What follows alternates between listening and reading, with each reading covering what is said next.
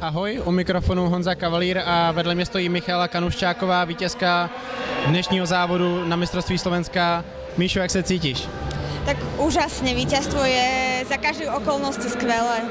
Jak těžká byla tady ta příprava pro tebe? Uh, bola dosť ťažká, pretože som riešila dilemu, či vôbec nastúpim na súťažné pódia a nakoniec som, som vystúpila, takže jednoznačne bola ťažká a náročná.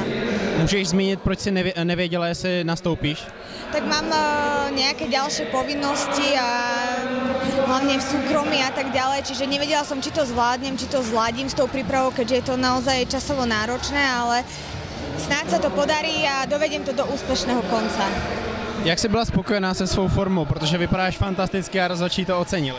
Ďakujem krásne, tak uh, nebola som 100% spokojná, ale ja verím, že vlastne každou súťažou to bude lepšie a lepšie, takže posnažím sa ešte, ešte, ešte pritvrdiť. Uh, mistrovství slovenské nominační soutěží na mistrovství Evropy. Je to tvoje další soutěž? Áno, každopádne. Máš nějaké větší ambice nebo s jakými s jakým cílem se budeš na tady tu soutěž v Santa Suzaně připravovat? Tak hlavne nech, je tam, nech sa mi tam podarí čo najlepší výsledok, nejaké medailové umiestnenie, to je môjim hlavným a najväčším cieľom a budem tvrdo makať, nech sa to podarí. Cítíš pocit zadosti učinění kvůli tomu, že si vlastně do poslední chvíle nevěděla, jestli budeš soutěžit a pak si mohla a dopadlo to nejlíp, jak mohlo? Tak každopádne je to, je to skvelé. Tak.